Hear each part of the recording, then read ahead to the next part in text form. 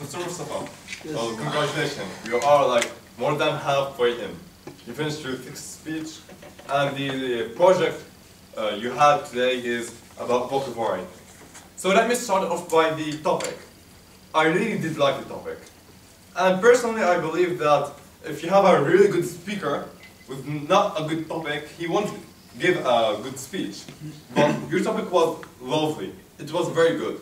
And no matter how did you perform it, it was like very good and it really did uh, made the audience uh, different, I guess. See, now your project is about vocal variety. And personally, I really like the CC manual because it gives you the chance to focus on one skill at a time.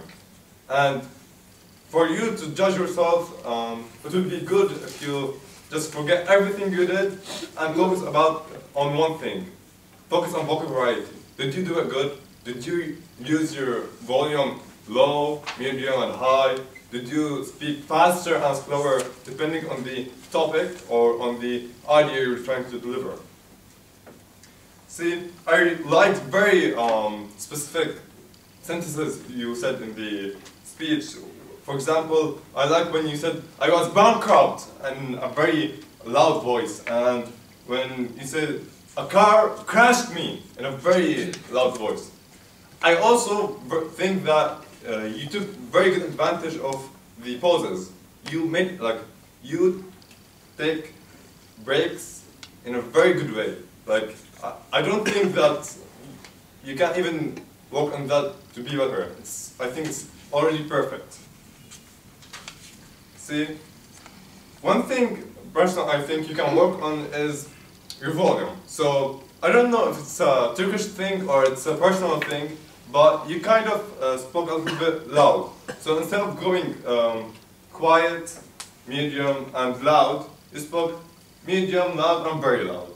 you can work on it. Um, so in the end, um, I really like your journey and your story.